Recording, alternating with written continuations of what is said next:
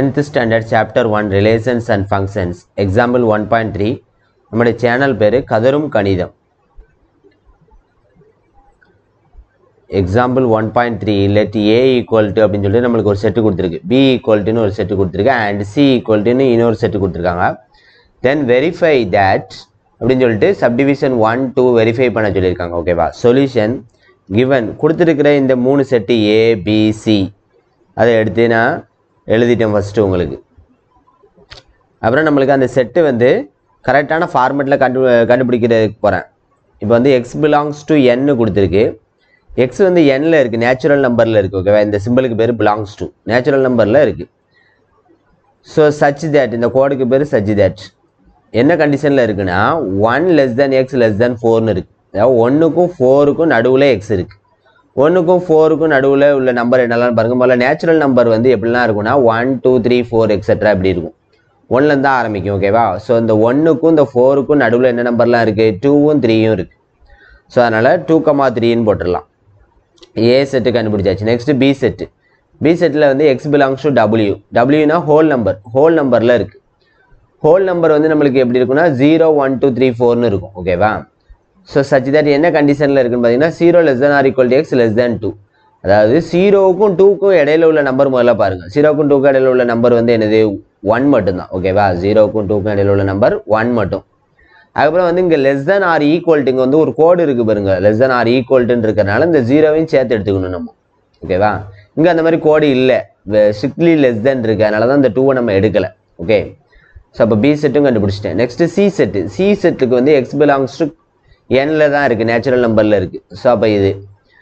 Such that என்ன கண்டிஷனில் இருக்குது எக்ஸ் லெஸ் தென் த்ரீ த்ரீயை விட குறைய இருக்குது ஓகேவா ஸோ த்ரீயை விட குறைய இருக்க இந்த த்ரீயை விட குறைய இருக்க மாதிரி நம்பர் என்னெல்லாம் இருக்குது ஒன்றும் டூவும் இருக்குது ஒன்றும் டூவும் இருக்குது so one comma two so மூணு செட்டுமே இப்போ நம்ம கரெக்டாக கண்டுபிடிச்சிட்டோம். இப்போ வந்து subdivision one A cross B union C equal to A cross B union A cross C இதை வந்து நம்மளுக்கு வெரிஃபை பண்ண சொல்லியிருக்கு. இப்போ நம்மளுக்கு லெஃப்ட் ஹேண்ட் சைடு முதல்ல கண்டுபிடிக்க போகிறேன் ஓகேவா லெஃப்ட் ஹேண்ட் சைடோட வேல்யூ என்ன வருதுன்னு சொல்லி பார்ப்போம்.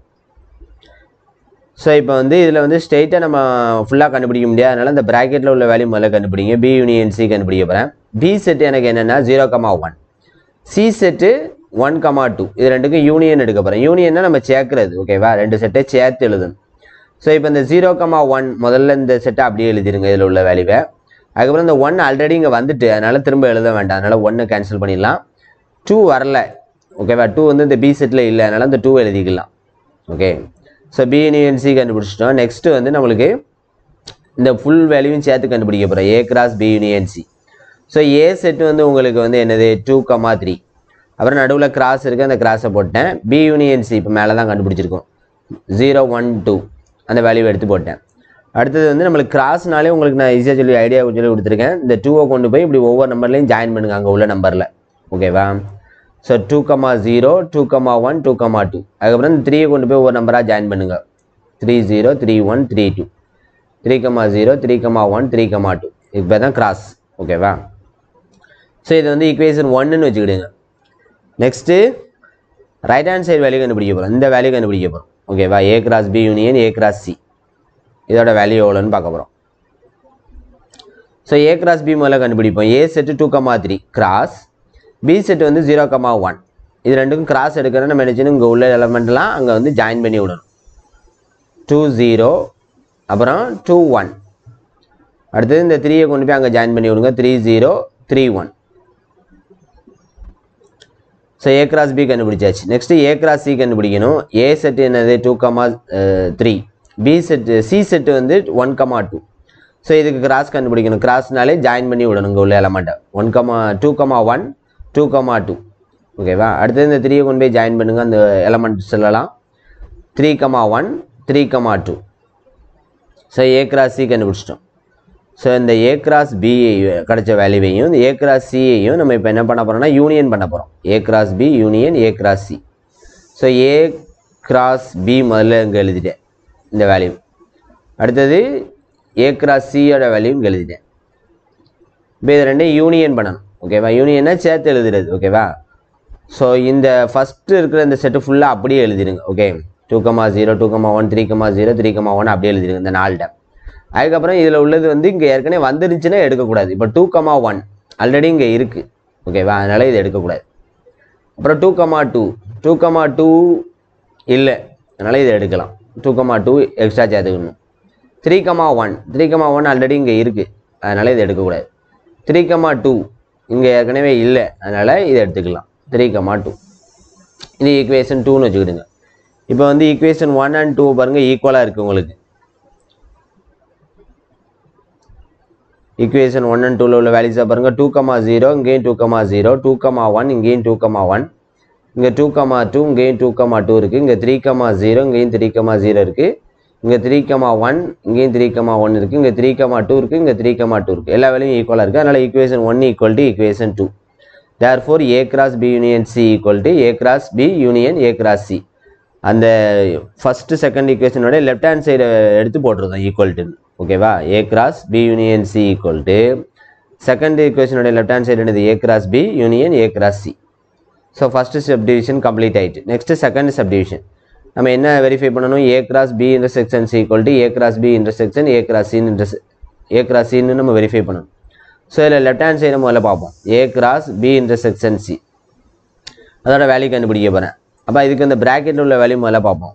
பி இன்டர்செக்ஷன் சி ஸோ இப்போ வந்து பி செட் வந்து ஜீரோ கமா ஒன் நடுவில் இன்டர்செக்ஷன் சி செட் வந்து என்னென்னு பார்த்தீங்கன்னா ஒன் கமா டூ இது ரெண்டுக்கும் காமனாக உள்ள டேம்ஸ் எடுக்கணும். காமனாக என்ன இருக்குது ஒன் மட்டும்தான் இருக்குது பொதுவான டேம் ஒன் அதுக்கப்புறம் வந்து இப்போ இந்த ஃபுல் வேல்யூ சேர்த்து கண்டுபிடிக்க போகிறோம் A cross B intersection C so ஏயோட set வந்து two comma three cross B intersection C இப்போ தான் கண்டுபிடிச்சிருக்கோம் ஒன்றுன்னு ஸோ இது ரெண்டுக்கும் கிராஸ் எடுக்க போகிறேன் கிராஸ் எடுக்கிறதுக்கு நம்ம என்ன செய்யணும்?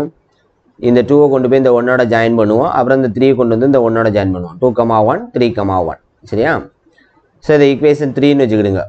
அடுத்தது வந்து என்னுடைய ரைட் ஹேண்ட் சைடு வேல்யூ கண்டுபிடிக்க போகிறேன் ஏ கிராஸ் பி இந்த செக்ஷன் ஏ கிராஸ் சி இதுக்கு வேல்யூ பார்க்க போகிறேன் so A cross B A cross சினா நம்ம ஆல்ரெடி கண்டுபிடிச்சிருக்கோம் போன இதுலேயே போன சப்டிவிஷன்லேயே நம்மள்ட்ட ஏ கிராஸ் பியும் ஏ கிராஸ் சியும் இருக்குது இந்த இருக்குது பாருங்கள் இதான் ஏ கிராஸ் பி இங்கே ஏ கிராஸ் சி இந்த ரெண்டு செட்டையும் எடுத்து அப்படிங்க கொண்டு வந்து எழுதிருந்தோம் ஓகேவா இப்போ இதுக்கு இன்டர்செக்ஷன் பார்க்கணும். இன்டர்செக்ஷன்னா உங்களுக்கு காமன் டேர்ம்ஸ் என்னெல்லாம் இருக்குது டூ கமா ஒன்று இங்கேயும் இருக்குது இங்கேயும் இருக்குது அதனால் இந்த டூ கமா ஒன்று எழுதிருந்தோம் அப்புறம் த்ரீ கமா ஒன்று இங்கேயும் இருக்குது இங்கேயும் இருக்குது இந்த ரெண்டு டேர்ம் தான் காமனாக இருக்குது ஸோ அதையும் எழுதியிருந்தோம் ஸோ இப்போ வந்து இது வந்து ஃபோர்த் ஈக்குவேஷன் வச்சுக்கிடுங்க. இப்போ ஈக்குவேஷன் த்ரீயையும் ஈக்குவேஷன் ஃபோரையும் பாருங்கள் ரெண்டுமே ஈக்குவலாக இருக்குது இங்கேயும் டூ கமா ஒன் இங்கேயும் டூ கமா ஒன் இங்கேயும் த்ரீ கமா ஒன் இங்கேயும் three comma one so equation three equal to equation four அதனால் இப்போ நம்மளுக்கு இதில் உள்ள லெஃப்ட் ஹேண்ட் சைடு ரெண்டும் ஈக்குவல்னு எழுதிடலாம். A cross B intersection C equal to fourth equation உள்ள லெஃப்ட் ஹேண்ட் சைடு என்னது? A cross B intersection A cross C so நம்மளுக்கு செகண்ட் சப்டிவிஷன் வெரிஃபை ஆகிட்டு ஹென்ஸ் வெரிஃபைட்